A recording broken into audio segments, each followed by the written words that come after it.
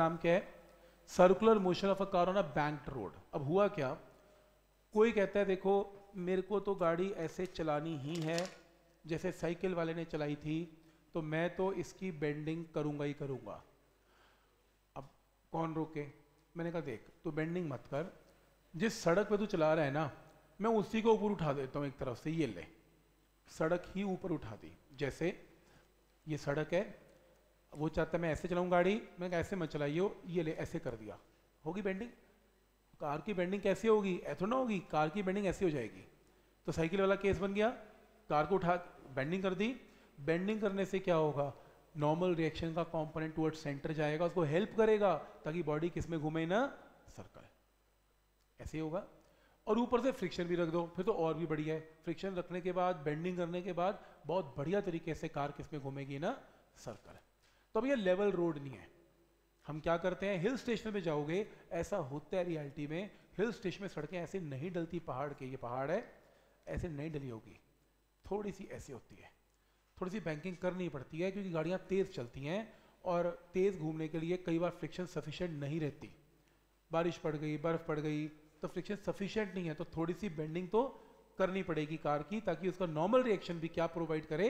Centimetre तो इस process में, जिसमें हम सड़क के एक हिस्से को, एक एज को ऊपर उठा देते हैं, इस प्रोसेस को बोलते हैं बैंकिंग ऑफ़ ट्रैक्स और कितना एंगल हमने ऊपर उठाया, उसको बोलते हैं angle of banking angle of banking ठीक है यहाँ तक?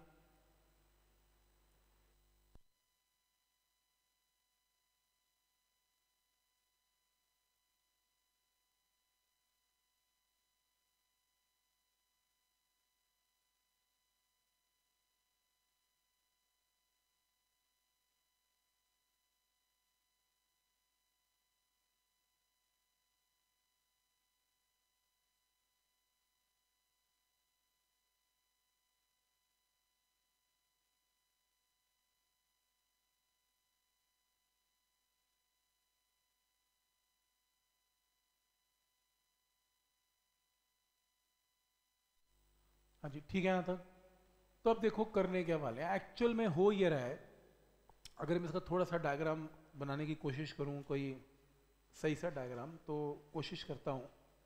तो जैसे ये आपका एक ट्रैक है, ठीक है? ये आपका एक ट्रैक है, और इनर ट्रैक है, और ये इसके आसपास इसका आउटर ट्रैक है। इनर ट्रैक है आउटर ट्रैक है। तो एक इनर ट्रैक हो गया, एक आउटर ट्रैक हो गया ठीक है? सच दैट इसमें ये आपके सामने एक ट्रैक पहले ऐसा था। फ्लैट था। सड़क फ्लैट थी। पर मैंने एक एंड को उठा दिया। तो एंड उठ, उठता हुआ आपको ऐसे दिखेगा। थ्री उठ गया ऊपर। तो ये ऊपर उठ गया by an angle of what theta और आपकी कार जो शुरू में ऐसे इस प्लेन पे थी, अब आपकी कार ऐसे दिखेगी आपको। जैसे साइकिल ट्रैक नहीं होते स्टेडियम में। साइकिल ट्रैक में क्या होता है? ये वाली जो साइड है स्टेडियम की तरफ़ जो जाती है, वो ऊपर हो जाती है। तो ऐसे साइकिल चलते हैं राउंड में। नीचे वाला कम और नीचे, जो सबसे नीचे वो बिल्कुल फ्लैट की तरफ़ चलता है। तो क्लियर है यहाँ तक? तो बैंकिंग कर रखी होती है उसकी भी। राइट तो ये ट्रैक ऊपर उठ गया। तो अब अगर मैं ये पूछूँ कि बताओ, इसके अंदर नॉर्मल रिएक्शन कहाँ है तो नॉर्मल रिएक्शन, ये नॉर्मल रिएक्शन होगा। क्या ये पॉइंट क्लियर है? ये ऐसा आपको फील नहीं दे रहा से इंक्लाइन प्लेन बन गया। ऐसा ही है इंक्लाइन प्लेन की तरह बन गया। अच्छा इसका वेट कहाँ पर होगा? नीचे कार का। क्लियर है? अब जो मैं बताने जा रहा हूँ सबसे इंपॉर्टेंट वही पार्ट है। अगर आपका ट्रैक ऐसा होता सीधा, ये देखो, सीधा, और ये रहा आपका सेंटर जिसमें वो ट्रैक में लेवल रोड पे कार घूम रही है। तो मैंने अभी अभी आपको बताया था कि फ्रिक्शन कहाँ एक्ट करेगी? टुवर्ड्स सेंटर कोई डाउट इसमें? ऐसी था। कार अगर लेवल रोड पे घूमती है, सड़क फ्लैट है, कार घूम रही है तो फ्रिक्शन टुवर्ड सेंटर राइट अब इस केस में हुआ क्या? ट्रैक तो कर दिया टेढ़ा। कार भी हो गई, ऊपर उठ गई कुछ ऐसे at an angle of theta तो फ्रिक्शन कहाँ एक्ट करेगी इसमें? ऐसे कितने लोगों को समझ में आ गया कि ये राइट है? ये रहा इसका सेंटर कहीं पर। कैसे? देखो, ये सड़क ऐसी थी फ्रिक्शन ऐसे है, कार घूम रही है, क्या किया? ऐसे उठा दिया। तो फ्रिक्शन जो वेक्टर लेफ़्ट है, वो थोड़ा ऊपर उड़ गया। एक ही बात है। पहले ऐसे था फ्रिक्शन सड़क ऐसे उठाओगे तो फ्रिक्शन ऐसे हो जाएगा ना? अगर आपकी फ्रिक्शन इधर थी, जब लेवल रोड है, कार ये रही फ्रिक्शन इधर है सेंटर वो रहा तो सड़क ऐसी उड़ गई तो फ्रिक्शन की डायरेक्शन देख रहे हो, ऐसी हो गई, क्योंकि सड़क ऐसी हो गई, ये देख रहे हो फ्रिक्शन राइट क्लियर है? तो यहाँ पर फ्रिक्शन कहाँ बनेगी? नीचे की तरफ़ ऐसे। जबकि सर्कल का सेंटर कहाँ बनेगा?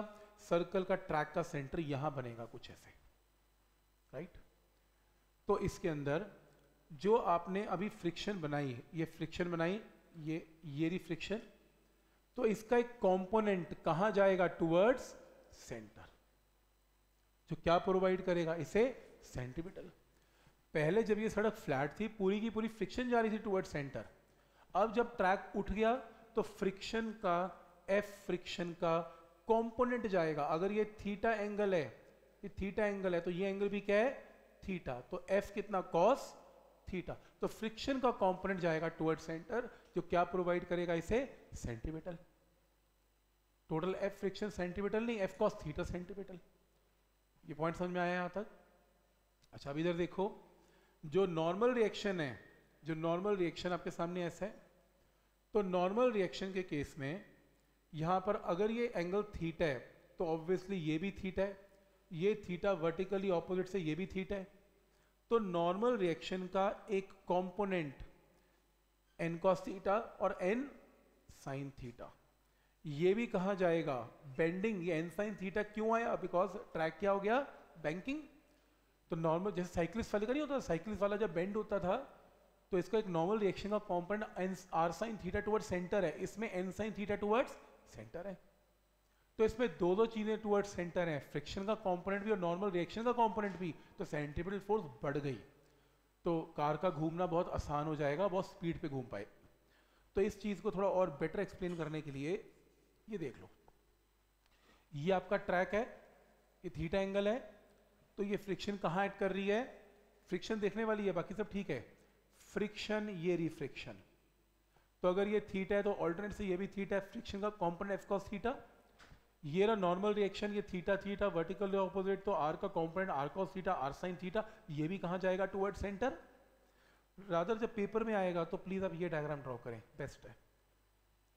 आपने ये ड्रॉ करना है. कोई नहीं ड्रॉ करना आपने यही ड्रॉ करना है. इसमें क्या करना है? तो आपने इसमें क्या किया? नॉर्मल रिएक्शन और ये फ्रिक्शन कहाँ पर ऐसे? थीटा थीटा ऑल्टरनेट एफ़ का एक कंपोनेंट एफ़ कॉस थीटा और ये वाला component F sine theta F sine theta. Misprint है, ठीक कर लेना, F sine theta. Right normal reaction का एक कंपोनेंट आर कॉस थीटा और एक आर साइन थीटा तो कुल मिला के टूवर्ड्स सेंटर कौन कौन सी दो फोर्सेस जा रही हैं? आर साइन थीटा और एफ़ कॉस थीटा तो क्या मैं ये बोल सकता हूँ कि R sine theta and F cos theta क्या प्रोवाइड करेगी बॉडी को? सेंट्रीपिटल और सेंट्रीपिटल का फॉर्मूला क्या होता है? M V square by R R is radius of the track equation number one clear है। ठीक है? और ये तो हमेशा ही ट्रू है। R cos theta downward force के इक्वल है। और डाउनवर्ड फोर्स कौन है इसमें? एम जी बी और एफ़ साइन थीटा भी है। तो M G plus F sine theta कोई डाउट इसमें? ऑनलाइन क्लियर है? यस सर yes ठीक है। तो इसके अंदर एक ये इक्वेशन एक ये इक्वेशन यहाँ से मॉडिफाई कर दिया। R cos theta minus F sine theta is equal to M G अब ये फ़र्स्ट है ये सेकंड है इन दोनों को डिवाइड कर लेते हैं फ़र्स्ट को सेकंड के साथ इसको इससे इसको इससे तो एम से एम क्या हो गया? कैंसिल तो क्या आया? वी स्क्वायर पे आर जी तो ये क्वेश्चन आ गई।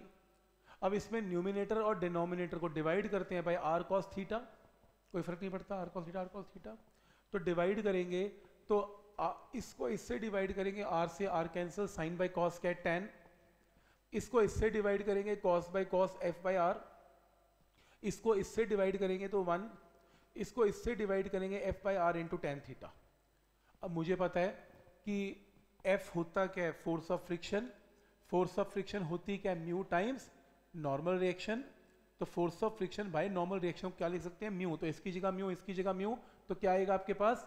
ये टर्म आ जाएगी म्यू एंड म्यू ये टर्म आ गई. तो squaring under root V square की वैल्यू आ गई.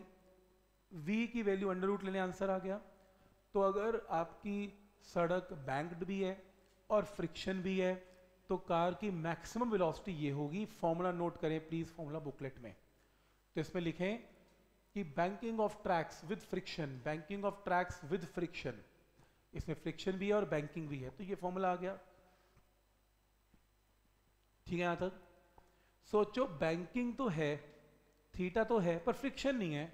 तो म्यू को क्या पुट कर देंगे? ज़ीरो तो फिर ज़ीरो पुट करके ये टर्म आएगी, इसको स्क्वेयरिंग करेंगे तो वही फॉर्मूला आएगा साइकिल वाला tan theta equal to V square by R G cyclist का यही फॉर्मूला था tan theta V square by R G cyclist और यानी कि कार में फ़र्क ही नहीं, अगर मान लो बैंकिंग रखें और फ्रिक्शन ना रखें नीट के पेपर में तीन चार साल पहले उन्होंने बैंकिंग विद फ्रिक्शन के ऊपर ऑब्जेक्टिव पूछा, सिर्फ़ फॉर्मूला दिए हुए थे, चार ऑप्शन चेक कर लेना पेपर सिर्फ़ फॉर्मूला मार्क करना था।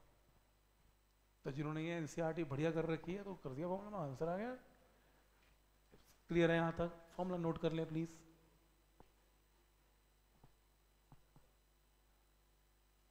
तो इसके अंदर ये मेंशनड है कि force of friction between the road and tyres provide centimetre force जो फोर्स ऑफ़ फ्रिक्शन है, वो क्या प्रोवाइड करती है? सेंटीमीटर फोर्स लेकिन large amount of friction between tyres and roads produces wear and tear of the tyre वो कह रहे हैं जी कुछ ऐसा है कि अगर आप फ्लैट सड़क रखोगे, पहाड़ों के ऊपर सड़क जहाँ गाड़ियाँ बहुत गोल गोल घूमती हैं, और सड़क फ्लैट रखोगे, आपके टायर गिर जाएँगे, क्योंकि गोल गोल गोल घूमने से टायरों पे असर पड़ेगा। तो हम क्या करते हैं तो थोड़ा सा बैंक कर देते हैं, ताकि कुछ फ्रिक्शन फ्रिक्शन जो है कम, ज़्यादा, ना करनी पड़े, और क्या करें इसमें नॉर्मल रिएक्शन का कंपोनेंट भी सेंटीमीटर प्रोवाइड करे, इससे आपके टायर थोड़े बचे रहेंगे। तो इस वजह से हम क्या करते हैं to avoid this curve road is given an inclination sloping upward toward the circumference उठा देते हैं एक तरफ़ से इंक्लिनेशन और इस प्रोसेस को क्या बोलते हैं बैंकिंग ऑफ़ ट्रैक तो बैंकिंग ऑफ़ ट्रैक के अंदर system of raising the outer edge of the curve road above the inner edge is known as banking of track और एंगल ऑफ़ बैंकिंग क्या है? एंगल जिससे कि आउटर एज को उठा दिया जाता है is known as angle of banking clear है यहाँ तक? तो ये टॉपिक आएगा लिखने को टेस्ट में भी और स्कूल में भी तो भी अच्छे से करना है, इसे फॉर्मूला नोट कर लें।